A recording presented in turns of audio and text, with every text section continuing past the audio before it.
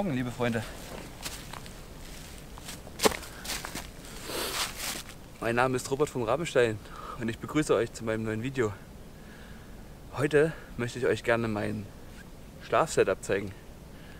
Ich hoffe, ihr habt Interesse. Ich zeige euch die ganzen Bestandteile, stelle sie euch ein bisschen vor und ja, es sind heute Nacht so minus 4 Grad gewesen, jetzt gerade so minus 2. Und das Schlafsetup hat sich bei solchen Temperaturen, also im Winterschlaf, bewährt. Deshalb möchte ich es euch gerne zeigen.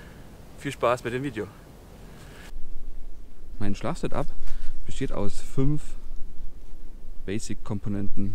Einmal die Bundeswehr Nässeschutzplane oder auch Elefantenhaut.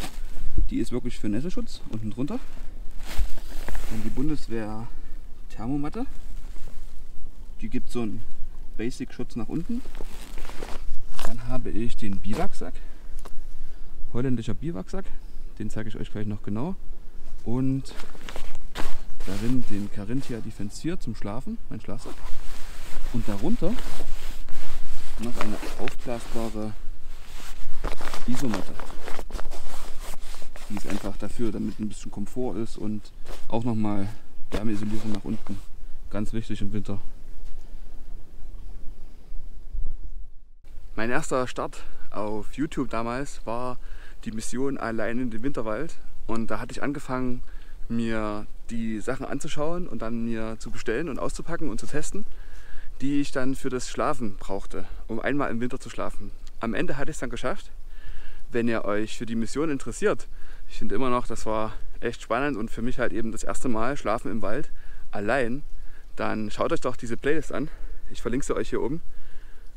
Da findet ihr alles dazu und ja, es sind ein bisschen alt, die Aufnahmen, aber vielleicht könnt ihr euch reinversetzen und falls ihr auch vorhabt, so einen Winterschlaf zu machen, ist es bestimmt ein guter Startpunkt.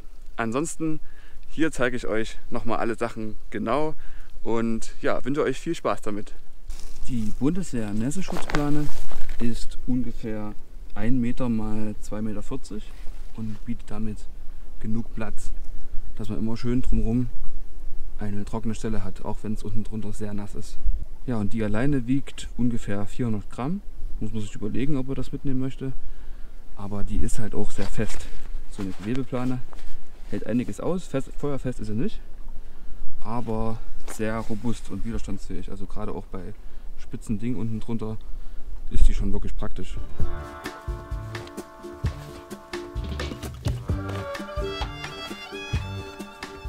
Ja, liebe Freunde, als zweites habe ich hier die Thermomatte von der Bundeswehr. Die ist faltbar auf verschiedene Weisen und die ist ungefähr 700 Gramm schwer, 1,84 Meter lang. Damit reicht sie gerade so für meine 1,85 Meter Körpergröße und ja, halt wirklich vielseitig einsetzbar. Wie gesagt, faltbar, kann man bei vielen Rucksäcken einfach als Rückenteil benutzen, kann man reinstecken, kann man immer dabei haben. Irgendwo zum Sitzen, ganz gute Isolierung. Das besonders Geile an dieser Isomatte ist, dass die hier super reinpasst. Also man kann die unter dem Biwaksack hier befestigen und reinstecken. Total cool. Äh, deswegen würde ich sagen, das passt super zusammen. Die Bundeswehr Isomatte und der Biwaksack sind gemacht, um miteinander zu arbeiten. Ursprünglich wollte ich mir ein Kissen mitnehmen. Das ist aber viel zu viel Aufwand. Deswegen habe ich jetzt immer einen Pullover oder sowas ins Kopfteil unten drunter gepackt, was ich halt mit hätte. In dem Falle hier einfach meinen Packsack genommen und den als Kopfkissen zusammengeflanscht. Das klappt ganz gut. Ja, als nächstes hier die aufblasbare Isomatte. Die ist auch ungefähr 1,85 Meter lang und bläst sich selber auf, wenn man die auspackt. Zumindest so ein Stück. Und danach kann man selber nachpusten. Ja, die ist wirklich weich, sehr angenehm, ist aber halt auch 1,4 Kilo schwer. Also die muss man sich überlegen, ob man die mitnehmen möchte. Ich wollte sie für den Komfort, weil ja, guter Schlaf, kennt das selber, ist absolut wichtig.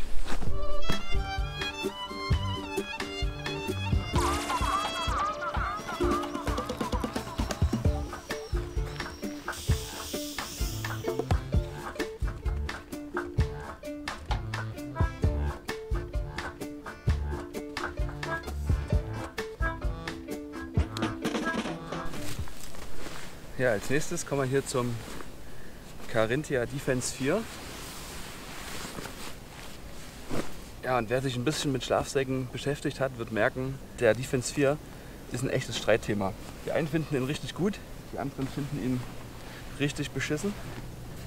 Ähm, ja, ich finde ihn richtig gut, aber nicht so, wie er angepriesen wird und wie er allgemein, wenn man kauft, quasi dasteht.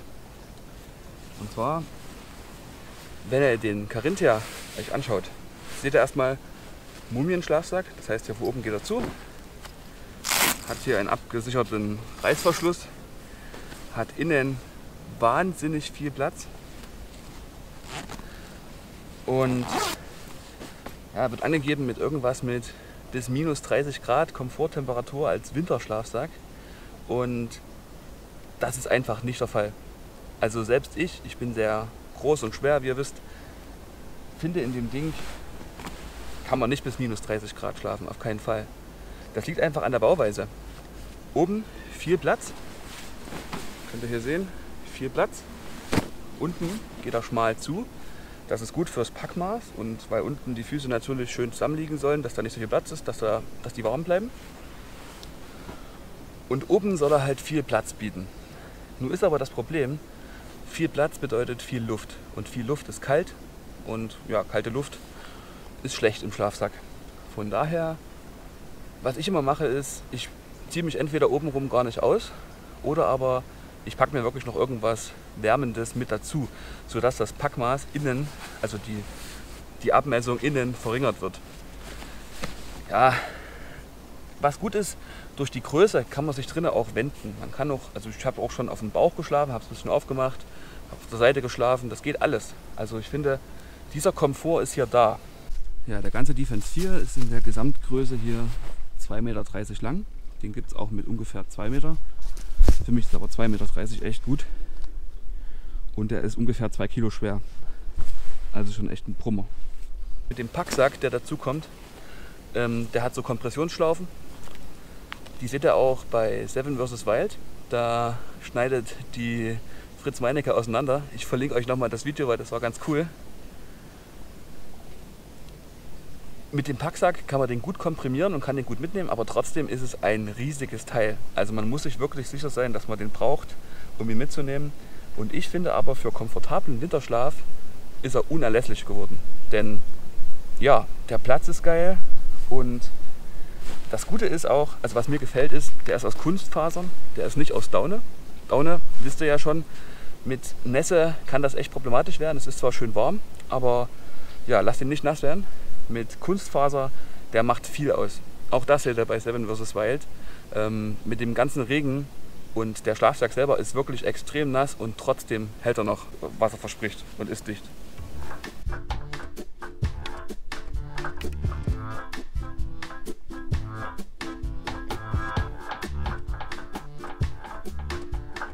Ja, kommen wir als letztes zum holländischen Biwaksack.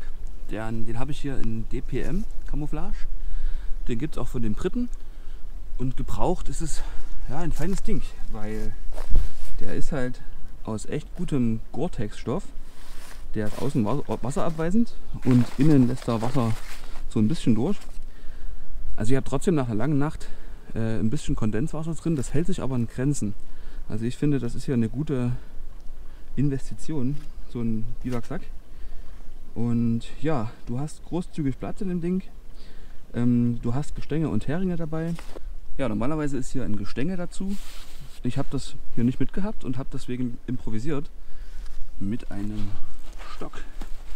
Den habe ich mir hier zurechtgebaut. Und habe ihn hier durchgeschoben, von links nach rechts. Zeigen. Aus. Genau. Habe einfach hier so einen Stock zugeschnitzt und das hat ausgereicht. Es geht nur darum, dass es ein bisschen höher ist, sodass der Biwaksack nicht direkt auf der Nase sitzt. Ansonsten gibt es hier noch Heringe. Habe ich hier sechs Punkte, an denen kann ich das schön abspannen. Habe ich jetzt nicht mit dabei, aber sind halt mit dazu. Und innen ist ganz schön, es gibt ein extra Moskitonetz. Das kann man hier ausklappen. Und dann kann man das quasi in den Reißverschluss reinmachen und hat einen Moskitoschutz und kann den offen haben. Das finde ich im Sommer eine feine Sache. Ich habe ihn allerdings im Sommer noch nicht verwendet, weil da ist er mir zu warm und zu groß. Ja, warum ist er zu groß? Weil er auch 2,30 Meter lang ist, 90 cm breit. Also da ist echt viel Platz drin. Ich kann auch immer noch mein Telefon reinnehmen und die GoPro und habe alle Sachen so am Kopf.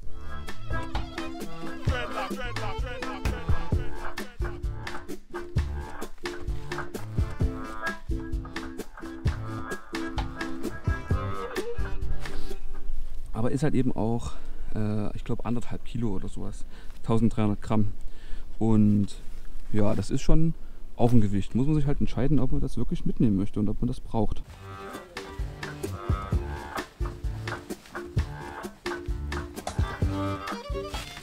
Ja, wie ihr sehen könnt, die Luft kann von innen entweichen. Sonst könnte ich das hier nicht zusammendrücken und die Luft rausbringen. Das heißt, er ist atmungsaktiv und von außen gut wasserabweisend.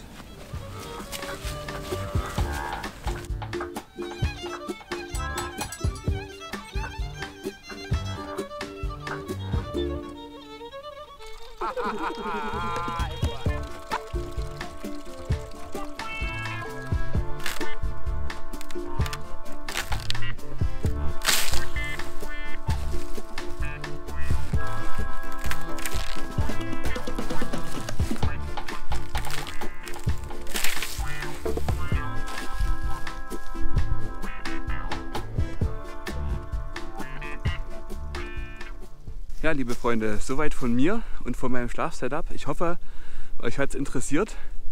Schaut gerne, wie gesagt, nochmal in die Videos rein, wo ich so auch so die Übernachtung benutzt habe. Und ja, viel Spaß damit. Wenn ihr Fragen habt, schreibt sie mir gerne in die Kommentare. Ich verspreche, ich beantworte alle und ich freue mich auch über alle. Lasst mir gerne ein Abo da, wenn es euch interessiert hat.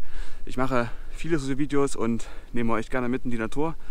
Viel Spaß mit mir und ja, ich wünsche euch noch einen schönen Tag. Ich hoffe, ihr könnt auch rausgehen und lasst es euch gut gehen. Euer Robert vom Rabenstein.